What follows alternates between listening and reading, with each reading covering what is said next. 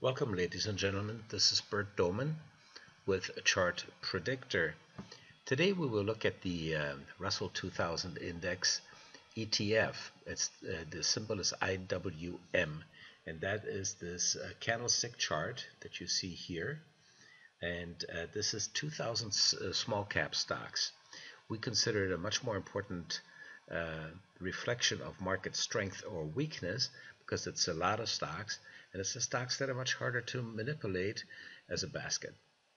Uh, the S&P 500, as you know, can if you can manipulate a dozen stocks or so, you manipulate the index.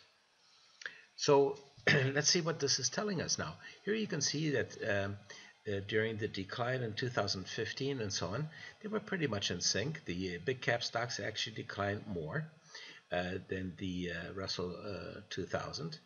And then we had this big rally going into year end in both indices. But notice that the big cap stocks, the S&P 500, that's this line here, was stronger. It rallied stronger, stronger than the small caps. This is a divergence, and we uh, call it at that time, and we said the majority of stocks are not following the S&P 500 big caps. And that was a warning that a top was being formed. And here's the top, and here's the big decline in January.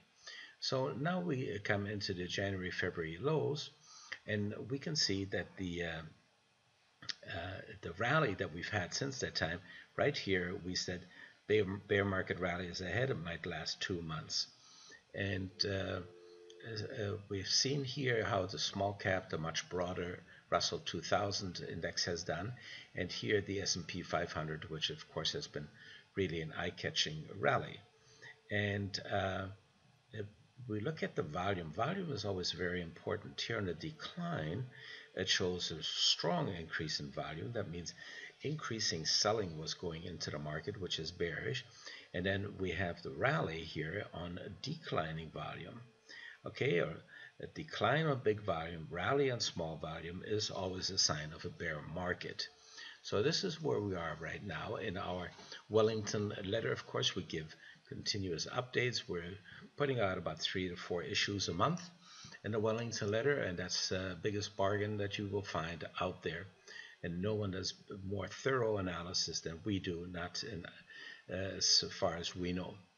Uh, so keep on tuned, uh, keep coming back here, and uh, go to our website, dohmencapital.com. Thank you very much.